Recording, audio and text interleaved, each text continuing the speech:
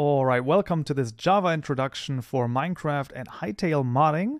And in this series that is going to run for the entirety of this December, we're basically going to learn the ins and outs, the first steps on how to actually program with Java. Right, I purposefully named this the Java introduction for both Minecraft and Hytale modding as Hytale modding will also require Java knowledge to basically start, and even though it's probably a way ways off, it's still a very good idea to start early with this and familiarize yourself with Java. So for this series, we're going to be using Java 16. This is because Minecraft recently changed to Java 16.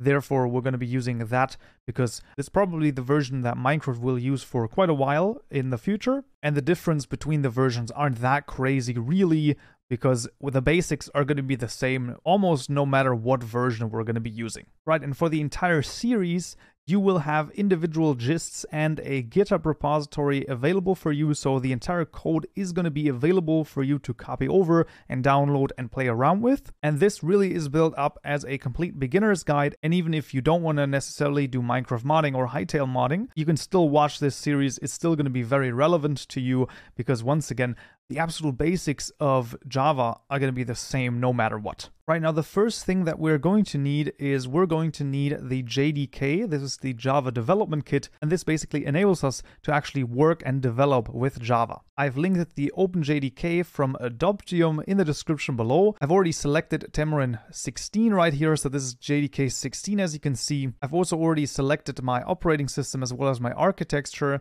and I'm going to download the MSI here, which basically immediately installs the JDK onto my machine. You just go through with this installation like any other program, so there's nothing crazy about this.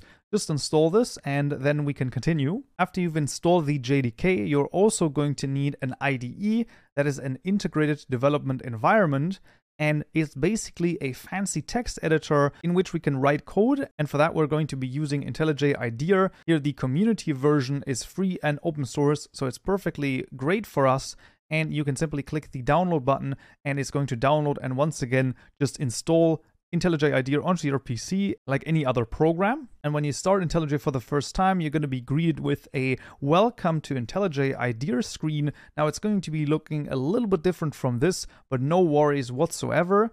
The main thing is that you have the new project, the open and the get from VCS buttons right here and you're going to be choosing the new project button. It's going to open a window that looks similar to this, and the main thing up here is the project SDK. So it's very important if you have multiple Java or JDK versions installed, make sure to select 16 and whatever the version behind here is is not that important, but what is important is that the first number is 16. Also make sure that you select the Java project right here and then you can select next. And then we want to check this right here. So create project from template because we want to make a command line app. This simply already generates some things for us that are going to be easier for us to start basically and then click next again. And this will open this window where you can define the project name the project location and the base package. Now i'm going to explain quickly what those are. Project names should be fairly self-explanatory. This is simply the name of your project. Then the project location is simply the location at which your project is being saved.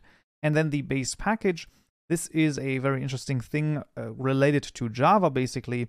So class, the script files, so to speak, of Java are located in what are called packages. And the convention there is that you basically start with sort of a domain. And the idea is, for example, if this was Google, then you could do com Google, right? So you always take the top level domain with the ending here at the front dot and then whatever name you have.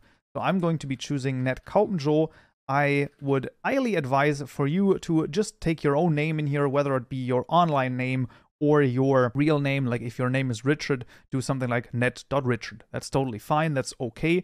Uh, however, I do advise not to take Kaupenjoe here because then people, you know, might be looking at this and we're like, well, you didn't write that code, right? Like that that was done by Kaupenjoe because like that's not you. So I, I was just uh, advise this, just put your own name in here. Don't put anyone else's name in here. It's kind of weird, to be honest. but that's just something. Right, but once that has been done, let's click the finish button and it will open a window such as this. So now the main window here has been opened basically, and there's a lot of things in here and a lot of confusing stuff, but let's not worry about this too much. I'm going to say a few words here. So number one, we can open this Java introduction here. We can click this open and then click this open. And you can see that this is here, this main with this C. This is the main class. Now the main class is a very important thing. This is basically where all of our execution of all everything that we're writing will happen. For the time being, what we're going to do is, I would like to say that we're going to ignore most of this stuff here. The only thing that interests us, we're going to zoom in, control, holding control and then just scrolling with the mouse key, you can zoom in here. And what we're going to do is we're just going to focus basically on this right here. So between this curly bracket and this curly bracket.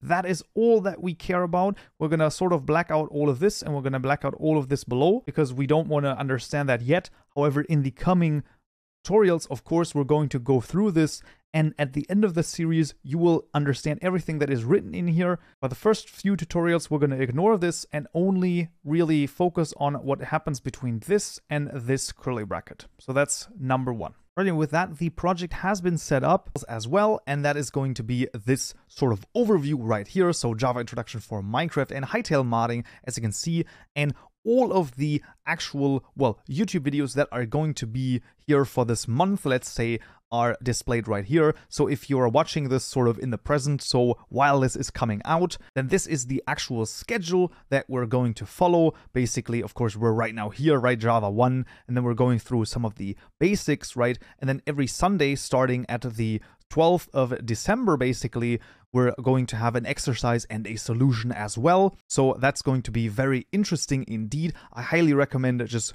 taking your time, going through all of this. If this is the future and the entire Java introduction is already out, then of course that's going to be a little bit easier for you. You can just follow it at your own pace. Otherwise, making, you know, basically following this day by day is also going to be really cool. But this would be it for the first tutorial right here. And like I said, when the playlist is out, it's going to be displayed right now on your screen. Otherwise, you can of course continue with Java 2 data types as soon as that's out. And I would say I genuinely hope that this introduction is going to be useful to you and take your time with it. And I'll see you in the next tutorial. So, yeah,